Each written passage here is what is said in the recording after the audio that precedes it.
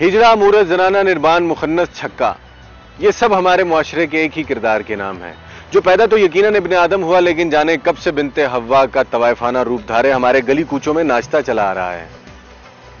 हिजड़े की ज़िंदगी मुआशरे के लिए एक तमाशबीनी, लेकिन उसके अपने लिए एक डरावना ख्वाब है, जिसके तमाम किरदार उसका कब्र की दीवारों तक पीछा नहीं छोड़ते। हिजड़ा हमारे मुआशरे का वो किरदार है, जिसे हम हमेशा तमस्कर और नफरत की एनक लगाकर देखते हैं। लेकिन ये वो कहानी है जो किसी घर में कभी भी जन्म ले सकती है। तीसरी दुनिया की ये कहानी मैंने इनकी अपनी जुबानी सुनी। आप भी मुलायजा कीजिए। मेरा नाम नदीम ज़फ़र खान है। वालिद साहब का नीसू ज़फ़र खान। कौम हमारी पठान है यूसफ जई। और इंडिया से हमारा ताल्लुक था लखनऊ से। हम आठ बहन भाई हैं। दूसरे नंबर पे मैं हूँ। बाकी सब छोटे हैं। पाँच भाई हैं, तीन बहनें। वालिद साहब का कारोबार था। जिसके ऊपर हमारा बड़ा अच्छा गुजर बसर हुआ। हमें उन्होंने पढ़ाया, कुरान शरीफ की तालीम दी। एक घर में लड़के की हैसियत से मैंने आँखें खोली। मेरी दोस्ती अंडरस्टैंडिंग लड़कियों के साथ हुई। अपने ख़ानदान में कज़न्स थी और जो मोहल्ले में लड़कियाँ थीं, उनके साथ शादी ब्याहों पे मैंने महफिलें अटेंड करनी, गोटा किनारी लगाने, उसमें फिर नाचना, गाना, ये सारा यानी कि मैं खुद उनमें सबसे आगे होता था। था तो छोटा वो मुझसे बड़ी लड़कियाँ थी। तो वो यानी कि बच्चा था उनमें तो वो भी नहीं मना करती थी, बल्कि वो मुझसे काम, सारे मैं उनके काम में ही करता था। यहाँ तक कि उनके इश्क पैमा की दास्तानें, वो मेरे सामने चालू हुई। मैं वो भी लड़कियों के एंगल से, हर हर चीज़ को मैं लड़कियों के एंगल से देखने लगा। वही मेरी तबीयत और मिजाज बन गई। मेरे वालिद साहब नोट करते थे मुझे। मोहल्ले के लड़के आगे पीछे, कोई कज़न आपस में एक दूसरे के साथ खतों किताबत मिलना जुलना उनकी चोरी में लगाते, उनकी जहरी में लगाते। वो सब मेरे अंडर में थी। वो मुझे उसके छोटे छोटे लालच देते थे, ट्रॉफी की सूरत में, किसी सूरत में। मैं खुद कहीं शादी ब्याह पे जाता था। वहाँ पे सोने का एहतमाम होता है। ज़ाहिर सब मिक्स होकर फिर सोते हैं। लड़कों को उधर सुला दिया, चलो जी, तुम लोग उधर सो जाओ। वहाँ मैं बहुत परेशान होता था। वहाँ मैं लड़कियों में नहीं सोता था, वहाँ लड़कों में सोना पड़ता था। कोई चीज़ मेरे से मैच नहीं हो रही थी। मूर्त बन गया मैं। क्यों बन गया? सब परेशान। एक भी इसके साथ क्या हुआ इसको हम वापस लेकर आए। उसमें उन्होंने मेरे साथ सख्तियाँ बरती बहुत ज़्यादा। मगर उसका उल्टा असर होता था कि मैं और भाग जाता था। मेरा घर में जरा सा दिल नहीं लगता था। ये लाहौर है। मुगलों का बसाया हुआ कदीम तारीखी शहर। और ये है मियाँ खालिद उर्फ़ गुरु लल्ला। आइए। नदीम को एक नौजवान लड़के से मूरत का रूप इसी गुरु ने दिया। इनके डेरे पर हर किस्म की आज़ादी है। ना कोई पूछने वाला है ना कोई टोकने वाला। इनका अपना कानून है और जाती दस्तूर। चेहरे खुद ब खुद खुशबू आ जाती है ना। गुरुओं की खुशबू आ जाती है। वो पैदाइशी है ना हमारे। हाँ जी मैं पैदाइश बाकी पेशाब वाली जगह तो कोई ऐसी बात नहीं चेस्ट जो है सब कुछ अपनी उनकी होती है। ये औरत होती है जो बच्चा नहीं जम सकती। ये लोग ना सिर्फ़ बायतमाद होते हैं बल्कि मुँह फट भी। मैं बड़ी हुई तो मैं मिक्स निकल आई। शादी के टाइम पे पहुँच। शादी पे कहते शादी करो मैंने कहा शादी नहीं हो सकती। कि उन्होंने देखा कि शादी नहीं मैं इस लाइन में आ गई इनके पास। इस मूरत को पैदाइशी हिजड़ा साबित करना गुरु लल्ला की कारोबारी मजबूरी है। लेकिन पर्दे के पीछे कुछ और है। कोई पैदाइशी तौर पे भी हिजड़ा होता है खुसरा पैदा होता है? मैंने तो आज तक नहीं देखा। मैं इस फ़ील्ड में मैंने सिर्फ़ यही सिर्फ़ देखता ही आ रहा हूँ ये क्या हो रहा है ये क्या हो रहा है ये क्या हो रहा है। उसमें मैंने भी देखा है कोई पैदाइशी नहीं है। अभी तक एक रिसर्च करें पूरे तो आपको सब यही नज़र आएँगे। हिजड़े डेरों पर गुरु के जेरे साया टोलियों की शक्ल में रहते हैं। मैं घर से भाग गई थी। ये भाग गई किसी के साथ भाग गई थी। ये डेरे से भाग गई थी। शिदरा क्रॉस करने लगी थी तो मुझे पकड़ इन्होंने मुझे पकड़ लिया शादरा पे। पुल के पास। चलो मैं वापस आ गई। गुरु हमारे लिए सेम हमारी नायिका की तरह होता है जैसे तो वाइफों की नायिका नहीं होती। इस तरीके से हमारे गुरु होते हैं। उल्टे सीधे लोग वो गुरु ही डील करते हैं क्योंकि हम लोगों के बस के नहीं होते वो। गुरु उस्ताद को कहते हैं और उस्ताद रूहानी बाप है लेकिन हिजड़ों में गुरु अम्मी है और एक हिजड़े की नायिका। नौजवान खूबसूरत लड़कों का एक मूर्त बन जाने की कहीं सबसे बड़ी वजह यही गुरु तो नहीं है?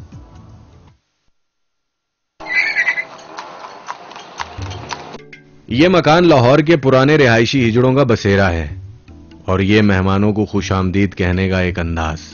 नदीम कशिश और इसकी साथी मूर्तें दूर दराज के फ़ंक्शंस में यहीं से बुक होकर जाती हैं।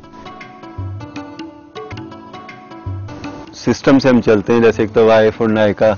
और जैसे फ़ंक्शंस वगैरह वो करती हैं प्रोग्राम कभी डेरे पे हम डांस देखने के लिए हमारे लोग आ जाते हैं। हम वहीं दिखा देते हैं फ़ंक्शन में फिर बुलाते हैं फ़ंक्शन में जाते हैं। जैसे तो वाइफों के पास आते हैं, उनका तो चलो टाइम कमरे लग रहे हैं गवर्नमेंट ने इजाज़त दी हुई है तो हमें तो वैसे ही कोई नहीं पूछता। जो लोग मूर्तों को अपनी खुशी में नचवाने के लिए बुलवाते हैं, वो इनकी तैयारी के तमाम मनाजिर भी बड़े शौक से देखते हैं। और इनकी तैयारी भी तो किसी तवायफ से कम नहीं। ज्वेलरी, मेकअप बनाओ सिंगार, सभी इनकी शख्सियत का ज़रूरी हिस्सा हैं। बहुत सी मूर्तें हसीन लड़कियों से मिलती जुलती नज़र आती हैं। इनकी ना सिर्फ़ जल्द बेबाल और मुलायम हो जाती है, बल्कि इनकी फिगर भी किसी से कम नज़र नहीं आती। लेकिन इसके लिए मूर्त को निर्बान होना पड़ता है। एक ऑपरेशन होता है छोटा सा। होता छोटा सा कहते हैं, मगर ये बहुत बड़ा ऑपरेशन होता है, जिसकी वजह से वो मुकम्मल तौर पे नामर्द बन जाते हैं। उनको हम निर्वाण कहते हैं। ऑपरेशन यानी कि वही होता है, जैसे आप खतने होती हैं। इस दुनिया में बाप करता है, इस दुनिया में फिर गुरु करता है उनका। वो खतने का जब पूरे यानी कि आलय नस जो उनसे होता है, वो सारा ख़त्म करवाना पड़ता है, जड़ समेत। बहुत तकलीफ़ दे अमल है और ये बाद में उनको खुद भी एहसास हो जाता है। मूरत अपना ख्याल किसी नगरीली तवायफ से कम नहीं रखती। ये सना है। इसका नाम हाशिम है और ये है इनकी अम्मी गुरु शफकत। ये तीनों निर्बान मूर्तें हैं। बचपन में से तो आ रहे हैं। छोटी छोटी उम्र में घर छोड़ के आ जाते हैं। फिर आगे उनको बनाने संवारने वाले भी खड़े हुए जो खुद भटके हुए लोग हैं। उन्हीं में आके वो अटैच होते हैं। और उन्हीं की बातों से इम्प्रेस होके, उनके शक्लों से, उनके तौर तरीकों से, रहन सहन से मुतासर होके फिर वो ये कदम उठाते हैं कि यार ये इतने अच्छे खूबसूरत, मैं भी लगूँ, मेरे भी चेहरे पे बाल ना हो, मेरे भी जिसम हो, मेरे भी ऐसे औरतों की तरह छाती हो, औरतों की तरह बाल हो। ये सारा जिसम औरतों की तरह लगे, इनका लग रहा है, मेरा भी लगे ना, उसका एक ही हल है।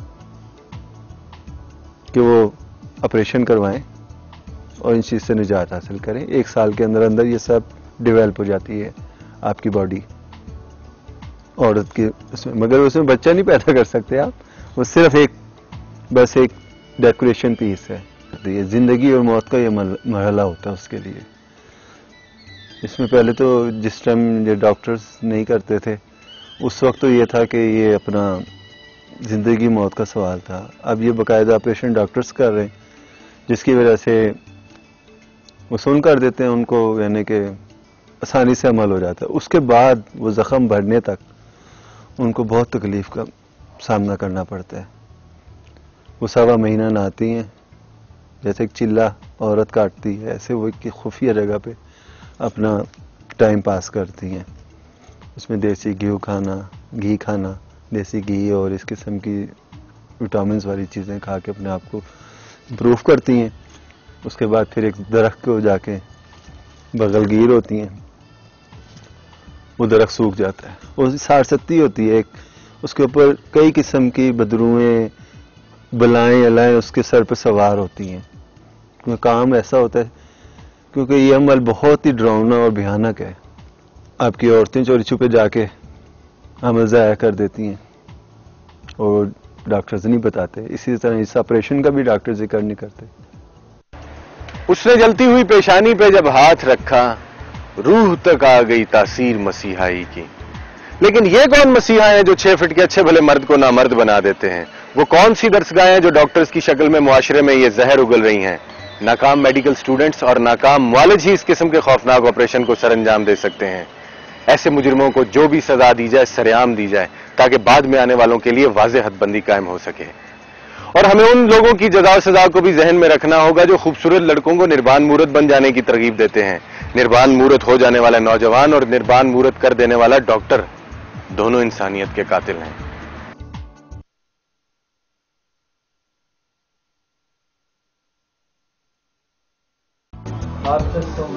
फ़ंक्शन की बुकिंग से लेकर मूर्तों की तैयारी और तफरी के तमाम इंतज़ाम करना गुरु के फराइज में शामिल है। अगर कोई चेला किसी तमाशबीन को पसंद आ जाए तो भी गुरु इस मामले को बड़ी खैर सलूबी से अंजाम देता है। आ टुर चलिए, जिथे सवे तेडिया में तेडी ढोला कसम चवा तेडिया में तेडी ढोला कसम चवा मिल के वत ना विछेड़ो इहो चन मंगो दुआ। ताड़े मारो ताड़े ताड़े।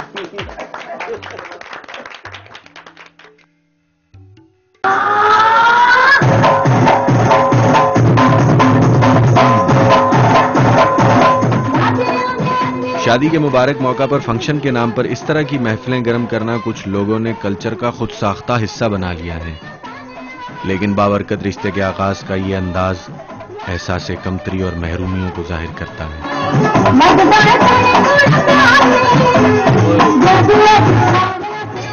हिजड़ों की अदाएँ और रक्स किसी तवायफ से हरगिज कम नहीं। बाकायदा तरबियत ने तमाशबीन की जेब हल्की करने में भी माहिर कर देती।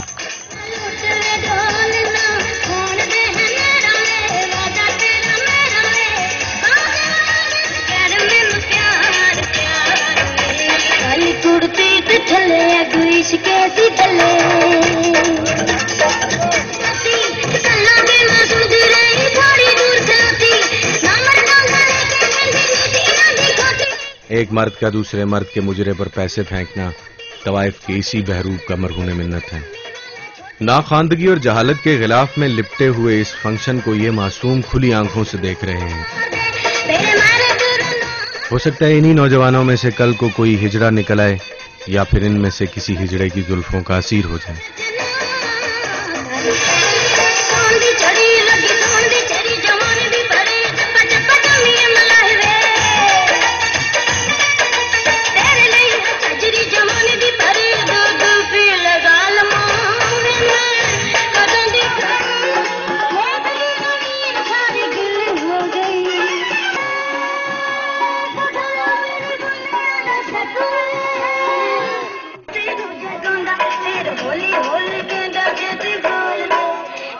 तमाशबीनी और बड़कबाजी हमारी फ़िल्म इंडस्ट्री का एक अरसे से मिजाज रहा है। फ़िल्म इंडस्ट्री पर काबिज चंद नाखानदा अफराद ने न सिर्फ़ हमें मुतवाजन सिनेमा से महरूम कर दिया है, बल्कि हमारी आने वाली नस्लों को भी मुतासर किया है।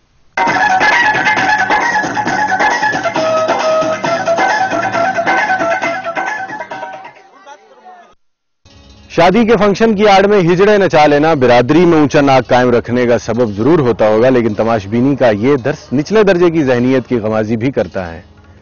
सरकार अगर लठ उठाकर हमें शादी पर खाए जाने वाले खानों का मीनियो और फहाशी से रोकथाम का लिटरेचर बांटती रहेगी तो हम कयामत तक थर्ड वर्ल्ड कंट्री ही कहलाएँगे। फ़िल्म स्टार सना आप जैसी हैं या आप सना जैसी हैं? जी मैं उन जैसी हूँ। अल्लाह की तरफ़ से अपनी सोच के मुताबिक, अपने जेन के मुताबिक जो दिल करता है, वो करती हूँ। जैसे दिल करता है भी शराब पीनी है स्मोकिंग करनी है मसलन के वो करना है, ये वो। सब कुछ अपने दिल की, जो दिल कहता है, वो करती हूँ। हमारे गाँव में जरिंगर खां तहसील लियाकतपुर और डा खाना खास टुल हमजा ना करे इन्ना जो कोई भी ना होवे साढ़े वर्गा जिन्ने लोग बैठे ने साढ़े वर्गा कोई भी नॉवेज फ़ंक्शन पे जाते हैं। उसमें से हर कोई तो सिर्फ़ देख नहीं रहा होता कोई समझ भी रहा होता है। किसी को अंदरूनी तौर पे कोई फीलिंग्स होती हैं कोई जहन का गलत भी बैठा होता है। वो हमसे हर किस्म की यानी कि वाबस्तगी कायम कर लेता है ख्याली तौर पर आमतौर पर तमाशबीन एक मूरत के साथ ताल्लुकात कायम करके किस तरह की ख्वाहिशात का इजहार करता है? मुख्तलिफ़ किस्म की ख्वाहिशात होती हैं, जिसमें सबसे पहले तो ये सेक्सुअल होती हैं।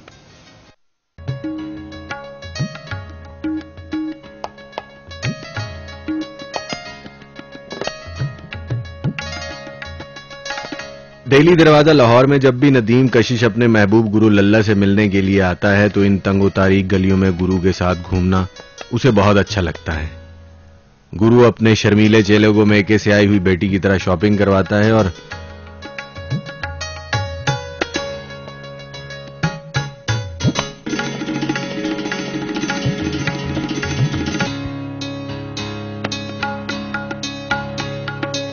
और यहाँ के लोग नदीम से आज भी उतना ही प्यार करते हैं जितना पंद्रह साल पहले।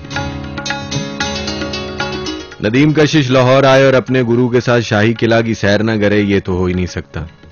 लेकिन मुगलों की इस अजीम शाहकार इमारत को दो मूर्तों की संगत में देखने का मेरा ये पहला इत्तेफाक था। खुसरे इन्होंने मुगल शहनशाहों ने अपने दरबारों में अपने ईवानों में बहुत ज़्यादा राइज कर दिए थे आम कर दिए थे। इसकी क्या रीजन थी आपके ख्याल में? आदमी पे भरोसा नहीं करते थे ना। कि किसी टाइम भी आदमी को शैतान बनते देर नहीं लगती। उसमें फीलिंग्स होती हैं। तो जनानों में या डांसर या से जो भी इस फ़ील्ड से हमारे ताल्लुक रखते हैं उनके अंदर ये फीलिंग्स नहीं है।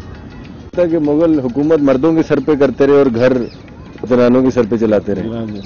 उन्होंने बहुत इस्तेमाल किया हमारे, यानी कि वो कुछ बना के नहीं गए हमारे लिए। ड्रामे, फ़िल्मों में जो हमें दिखाते हैं ना, पेश करते हैं, ये हंसने के, हंसाने के लिए बस। कि हम कोई ऊट पटांग चीज़ है और ना इंसान समझते हैं कि इंसानियत के नाते जो हमने एन बनाई हुई अपनी, ये इंसानी हकूक के लिए, उसमें हम इंसान नहीं हैं।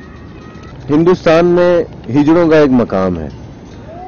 जी मकाम वहाँ तो पूजा की जाती है। ये जो हिजड़ों के अंदर बदफेली करने वाले लोग हैं जी। ये कितने परसेंट होंगे? जी हंड्रेड परसेंट।